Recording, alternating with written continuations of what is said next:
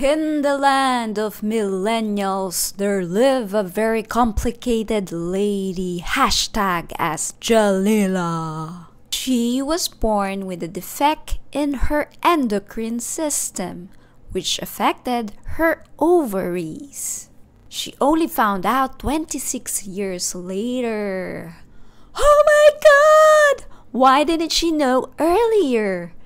That is because she was too busy with boys. The Backstreet.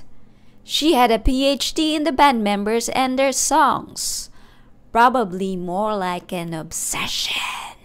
In her doctor's appointment, she expressed angst because she experienced the following signs and symptoms irregular periods or no periods at all, excessive hair growth, weight gain, thinning hair and hair loss, oily skin, acne.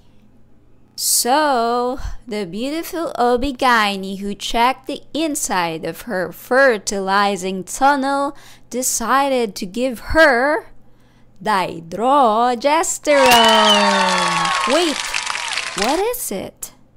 It is a chemical formulation in the form of a tablet that was made to mimic a natural hormone in the body. That hormone, progesterone, for those with polycystic ovaries are like ghosts because they are lacking in presence. The purpose of dihydrogesterone is actually not to kill but to monthly induce bleeding.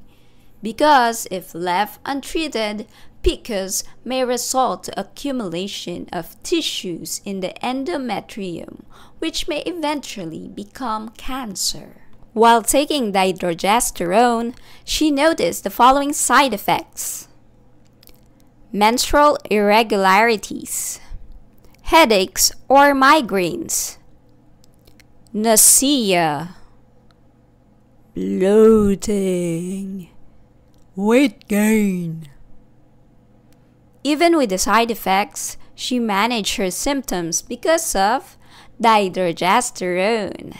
That is why she lived healthier and happier ever after.